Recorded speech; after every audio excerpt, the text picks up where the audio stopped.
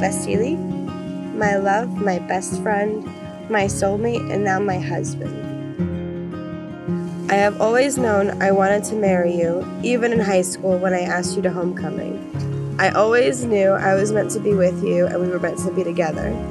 I am so proud of our growth since then. We have only grown stronger together.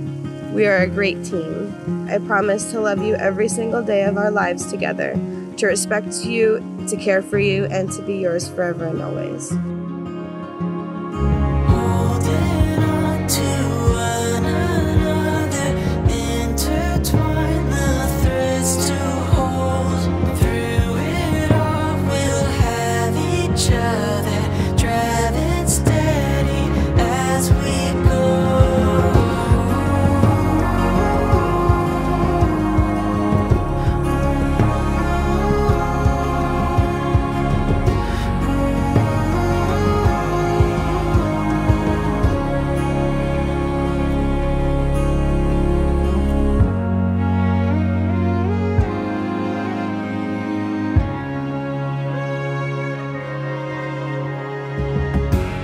Dear Maria, from the beginning, I knew you were beyond special. You like the way you're just so gentle, um, loving, selfless, and kind, not just to me, but to literally everyone around you.